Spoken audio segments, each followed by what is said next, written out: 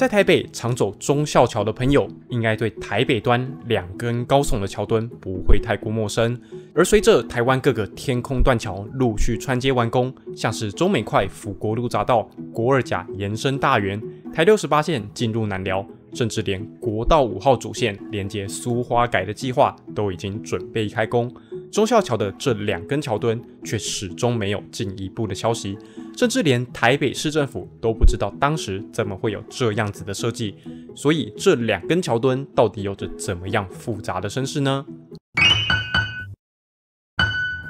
时间回到一九七零年代，当时台湾的自小客车数量逐渐增长，而台北市区也已经确立了往东侧扩张的轴线。为了疏解可预见的塞车问题。台北市政府从一九七四年开始规划市区快速道路系统，并且于一九七八年启用全台湾第一座市区快速道路，也就是下面其实不是柳公圳的轻生高架桥。往后几年，水源快速道路、建国高架桥陆续完工通车，台北市政府委托交通大学研拟台北都会区快速道路系统初期路网，由内环、外环、辐射三层结构组成。当中的内环路线包含了沿着淡水河跟新店溪畔的环河南北路，以及使用中的水源快速道路。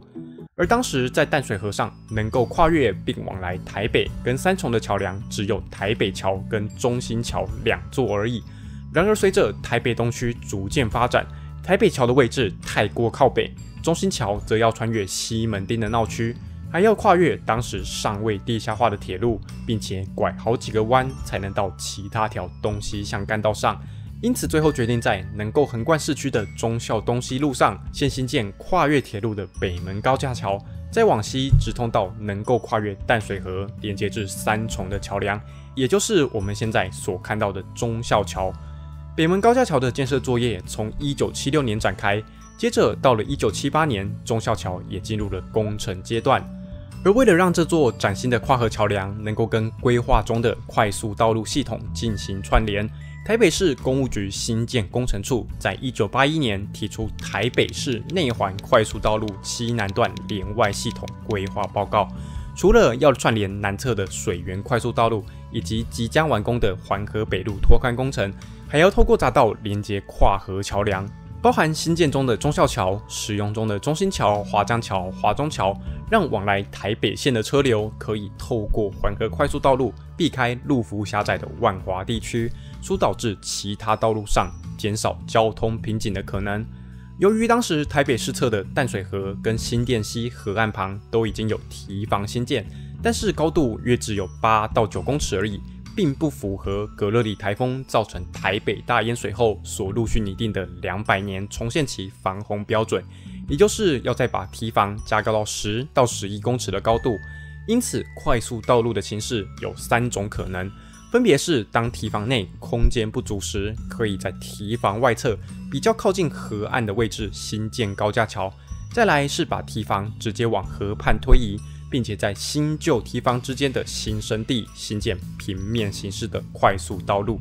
又或者是在堤防外推出十一公尺高的土堤，除了充当符合新标准的堤防之外，顶部可以直接铺上柏油，形成快速道路。经过评估之后，堤防外推的两个形式都会占用到比较多的河川地，对于风灾来临时的防洪效果有巨大影响。所以决议采用堤防位置不更动，但是堤内空间不足的时候，在堤防外侧新建高架桥的形式。如此一来，整个计划就会变得比较复杂。南侧从华中桥下衔接平面起点的水源快速道路，往北一路以平面的方式穿越光复桥跟纵贯铁路桥的下方，接着往南方向的车道爬升为高架，并且跨越到堤防外侧。而往北方向的车道则维持在堤防内侧的平面。抵达华江桥之后，北向车道也从平面爬升为高架。之后在桂林路口前后跟着跨越堤防，两个方向的车道都行走在堤防外侧，一路到忠孝桥之后，再次跨越堤防回到堤内，接着由高架转回平面，在南京西路北侧衔接拓宽之后的平面环河北路。值得注意的地方是，两方向都要新建在堤外的路段，其实已经有一段起自忠孝西路、终于桂林路的高架桥，而在它的下方还有以五金街著称的整排商店。至于只有北往南车道要新建在堤外的路段，环河南路本身甚至还偏离了堤防，使得没有合适的计划道路空间，可以让快速道路完全设置在堤防内。这也代表着联络各跨河桥梁的匝道必须有相对复杂的设计。在最南边的华中桥出口匝道只有设置南向往中和一支，入口匝道则是设计成平交路口，让中和前来的车辆可以往北或往南转。北边一点的光复桥因为刚改建完成，而且车道数比较少，所以不设计联络匝道。再来的华翠桥当时还是纵贯铁路，万板桥也还没有相关计划，自然不会有设置联络匝道的规划。更北边的华江桥有两个方案，A 案采取类似现在台北市民大道高架桥的规划，将南北双向的出入口匝道都设置在内侧，并且在华江桥上以平交路口的方式，提供往来板桥跟万华两个方向车流利用。B 案则是认为板桥往来台北南区的需求不大，因此只让板桥方向的车流可以往来北向的环河快速道路。另外设置一支可以由桂林路上到华江桥的匝道，以布置来说，跟现在的样貌其实蛮像的。只不过当时规划的北往南高架桥在堤防外侧，而且出口匝道设置在内侧车道。接着来到中心桥，同样也有两个方案，A 案跟华江桥的 A 案基本上一致，而 B 案则需要让环河快速道路的南北双向车道分隔得更远。南向出口匝道设置在外侧车道，南向入口匝道设置在内侧车道，都只能往来三重新庄方向而已。而在离中心桥稍微远一点的地方，在南北向车道中间增加回转道的设计，让北向的车流也可以连接中心桥。另外，还要在南向车道设置一组出入匝道，让原有的环河南路高架桥能够上下新辟的环河快速道路。最后来到重头戏忠孝桥方案，一口气暴增到四个。A 案直接比照高速公路的规格，设置木塑夜行的匝道跟环道，类似于现在桃园的平镇系统交流道、台中的大雅交流道原貌、台南的下营系统交流道等等。不过缺点是面积过大，需要利用到现在的洛阳停车场、玉泉公园的空间。B 案则跟华江桥及中心桥的 A 案相同。也会面临车流疏解效率不佳的问题，而 C 案的构型则是复杂了点。出入口匝道主要设置在内侧车道，下匝道之后都只能右转而已。因此，另外在外侧车道设置出口，可以回转到另一个方向的匝道。入口处也设置中央的回转道，以在用地面积跟车流疏解效率之间取得比较好的平衡。但是后来评估这样的方案有回转道半径太小。可能容易引发车祸的问题，所以又提出新的方案，取消往来台北市区方向的出入口，因此回转道由四组缩减为只剩两组，而环河快速道路南北双向车道间的距离又被拉得更远，以扩大回转道的转弯半径。在综合考量之后，决议以这个新方案来施作，而进行中的忠孝桥工程便因此配合更改计划，预留了衔接环河快速道路的匝道。从一九七九到一九八四年间拍摄的空照图，就可以发现忠孝桥最开始新建的时候，甚至没有现在基慢车道绕开匝道的设计，只有施作主桥面的桥墩而已。至于匝道旁边往上突出的那两根桥墩，则是忠孝桥工程变更之后预留给环河快速道路南向主线车道来使用。从一九八六年拍摄的空照图可以看到，已经通车的忠孝桥旁也曾经出现两条岔出的天空断桥。